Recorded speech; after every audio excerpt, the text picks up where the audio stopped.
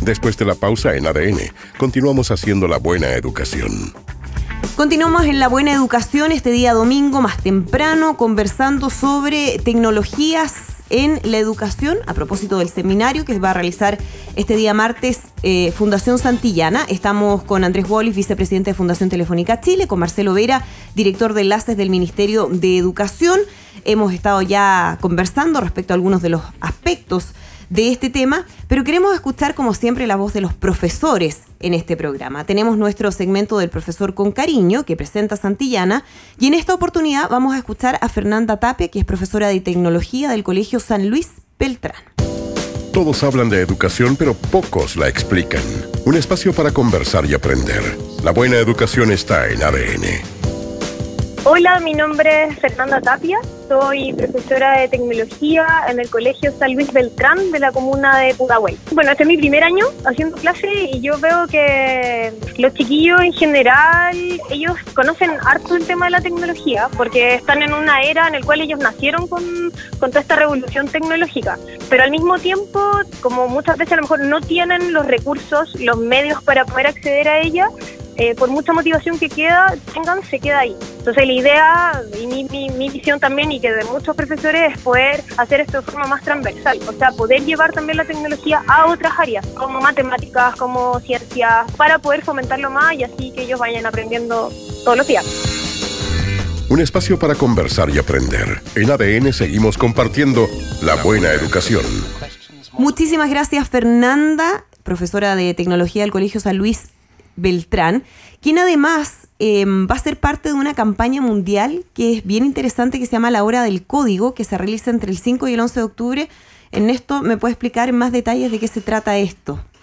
Bueno, sí, e, es una campaña eh, en donde usted puede visitar la página www.horadelcódigo.cl eh, que se llevará a cabo entre el 5 y el 11 de octubre, en donde se abrirá la oportunidad para que los niños entiendan que además de ser usuarios del, computador, pueden también intervenir la tecnología y hacerle ajustes. Eh, eh, es una campaña muy, muy interesante. Los invitamos a todos que por favor visiten www.horadelcódigo.cl. Y bueno, eh, la profesora Fernanda Tapia nos, nos, hacía un comentario bien interesante, que en realidad tenemos eh, por ahí la, la, motivación de los niños eh, por la tecnología, pero tal vez es una oportunidad a la que deberíamos sacarle más provecho, más provecho en el aprendizaje, más provecho para, para resolver problemas.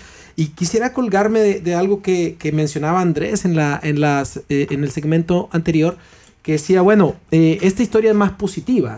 Yo creo que sí es más positiva, pero también es cierto, por lo mismo que ustedes mencionaron, que siempre vamos a tener que estar ideando nuevas formas de adaptación de la tecnología al campo educativo por, por la vertiginosidad propia del avance tecnológico. ¿sí? Eh, y, yo quisiera preguntarles cuáles son las formas más recientes, los, las innovaciones más recientes que están entrando eh, a las escuelas, que se están pensando en el mundo de los especialistas eh, de las TICs en educación.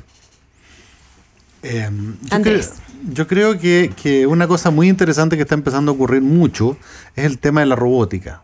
Ah, particularmente, em, también es un poco apasionante para los niños que les gusta el tema. Eh, de, construir robots físicos, digamos, pero también se pueden construir robots virtuales, hay, hay buenos software eh, que, que, ayudan a esto. Bueno, eh, las placas Arduino que son muy sencillas, entonces uno, o, los mismos Lego, eh, que hoy día... Las placas Arduino, explícanos un poco más para nuestro público que, que no... Sí. bueno, en el fondo el Arduino es el cerebro de, de, cualquier robot y que la forma de programación es muy, muy sencilla. O sea, cualquier chico de 5 o 6 años ya puede con funciones muy, muy sencillas, hacer programación. ¿Y eso ya está entrando en los colegios?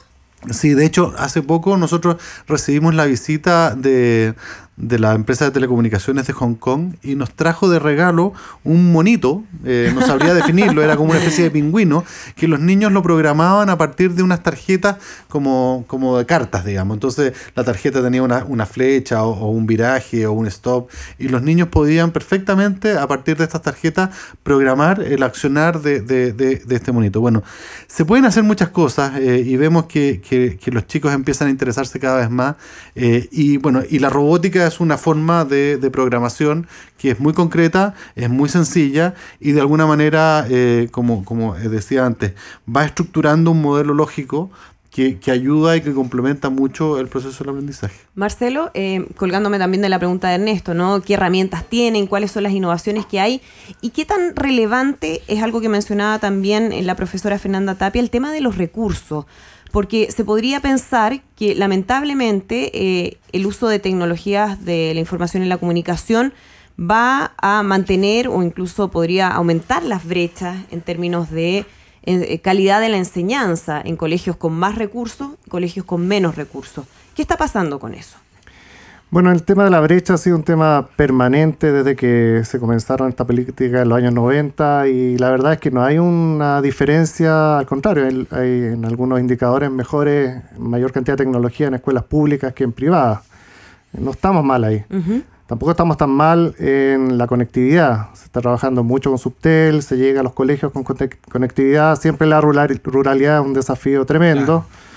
Pero no, no hay una gran brecha ahí. Me gustaría desmitificar dos cosas que se han planteado. Una, el docente, como, como la traba de que esto suceda.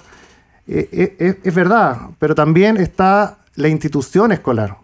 Porque el modelo del profesor heroico, que en el que estamos hace bastantes años, que gracias a su entusiasmo logra cosas, no es para siempre. Este problema, y lo que tú planteabas, Andrea, ¿cuándo lo vamos a solucionar? Nunca. Este problema llegó para quedarse, como dice Andrés. Vamos a estar sometidos a adaptar tecnología para siempre y nos tenemos que acostumbrar a estar viviendo en esta tensión.